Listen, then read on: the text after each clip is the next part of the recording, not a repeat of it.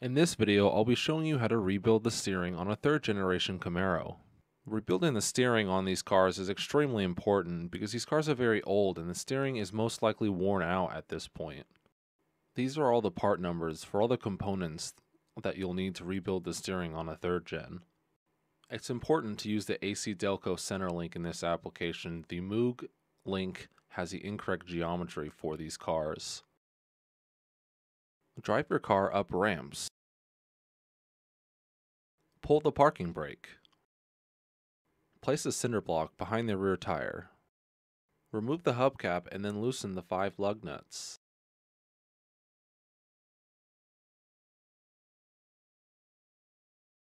Place a jack underneath the crossmember and jack up the car. Place jack stands underneath the subframe and then lower the car onto the jacks. Remove the five lug nuts.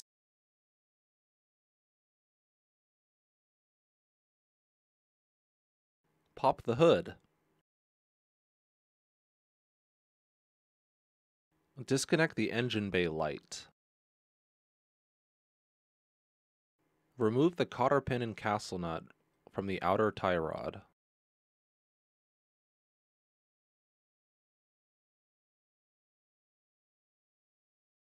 Using a marker, make an outline of the idler arm. Remove the two idler arm bolts.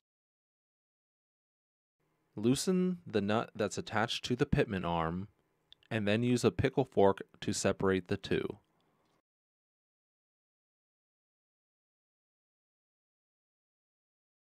Wipe off the pitman arm. Record and measure the length of the inner and outer tie rod. Install the grease fittings. Connect the inner and outer tie rod end. I'm using the UMI sleeve for this. Connect the inner tie rod to the center link.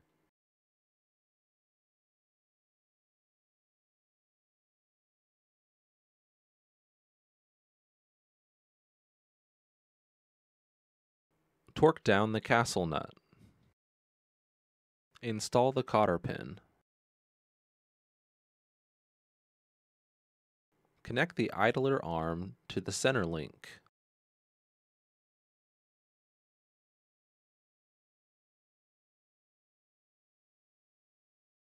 Torque down the castle nut. Install the cotter pin.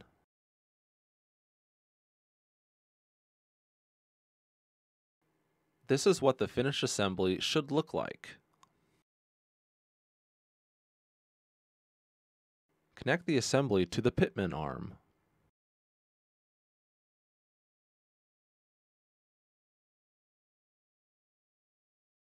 A torque wrench won't fit in this location, so just try to torque it down by hand. Install the cotter pin.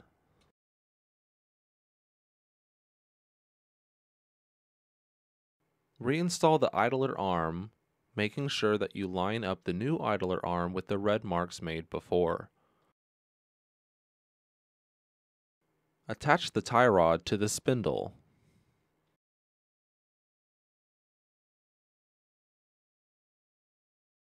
Torque down the castle nut and install the cotter pin.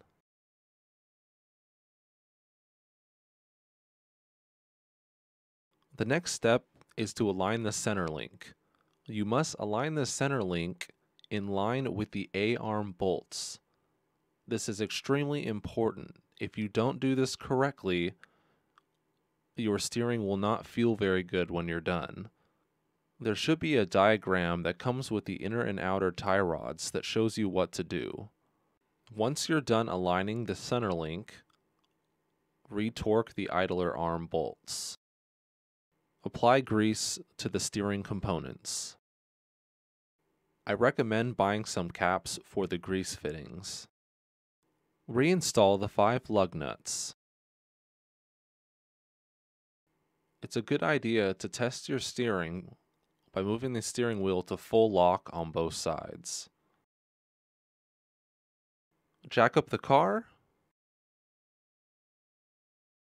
and remove the jack stands. Slowly lower the car. Torque down the five lug nuts. Install the hubcap. An alignment is required after rebuilding the steering. These are the recommended alignments for a third gen. Pick whatever application suits your needs. Do not use the factory alignment. I hope you liked this video. If you did, please leave a like and leave a comment below.